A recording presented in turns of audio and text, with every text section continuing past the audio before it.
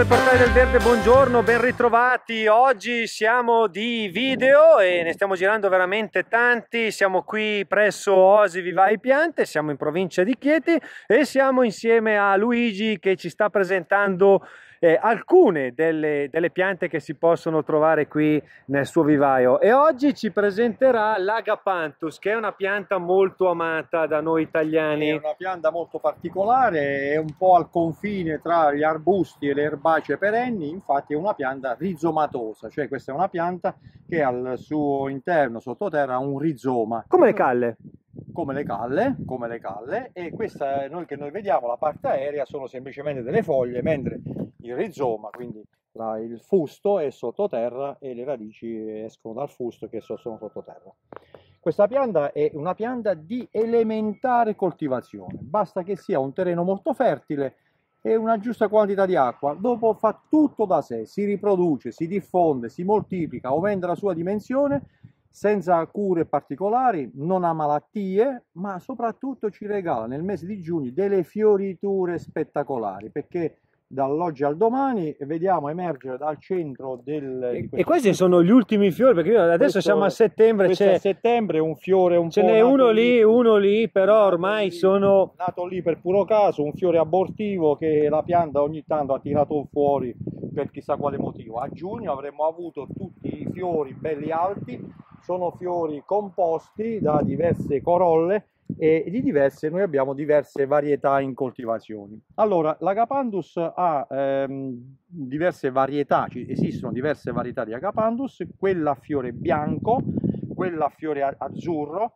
con le foglie grandi, quindi Agapandus africanus e Agapandus africanus albus, albus quello bianco ma ci sono anche altre varietà più piccole, di più piccole dimensioni, quindi più contenute, più adatte ai vasi, più adatte ai nostri terrazzi e ai nostri balconi. Hanno foglie e fiori tutte ridotte in scala e c'è anche un piccolo cambio della tonalità dell'azzurro, più o meno azzurro, più o meno eh, tendente al viola, più o meno blu sono gli Agapandus mini, quindi il Blue Baby, Agapandus Rotterdam, Agapandus di altre varietà che sono eh, ormai sempre più stimolate perché alla, alla, al miglioramento genetico perché proprio sono molto apprezzate per i terrazzi L'Agapandus invece che usiamo in giardino è l'Agapandus africanus eh, normale che è quello celeste o l'Agapandus africanus albus che ha fiori bianchi Dicevo una pianta molto semplice, molto elementare nella coltivazione, non ci chiede veramente niente. Possiamo metterla in terra o deve stare per forza in vaso? Allora, eh, la pianta si adatta molto bene a stare anche in un vaso, però dobbiamo tenere presente che quando la pianta accestisce, cioè aumenta il suo volume, cresce, poi soffre in un ambiente circoscritto dal vaso, per cui la sua vocazione è quella di essere in piena terra, quindi per invaso per qualche anno, ma poi va messo in piena terra perché si espande con le radici.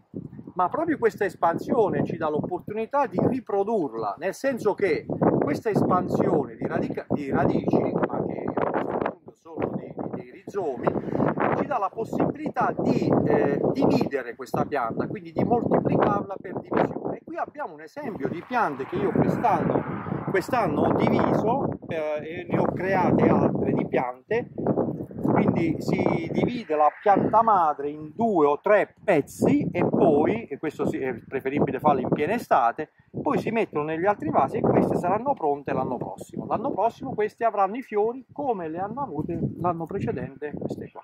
Benissimo, allora abbiamo affrontato anche l'argomento Agapanthus qui insieme a Luigi, abbiamo visto eh, che essere una pianta, abbiamo visto anche molto a facile, molto facile. molto facile, così la definisce lui, perciò che non ha bisogno di troppe cure e soprattutto ci regala delle fioriture eh, stupende nel mese di giugno. Alessandro, Luigi e quel fiore viene chiamato abortivo, giusto? Abortivo perché, perché è un po' strano. è un po' strano, quindi eh, di vi salutano e vi rimandano al prossimo video, ricordate di mettere un bel pollice in su. Ciao alla prossima!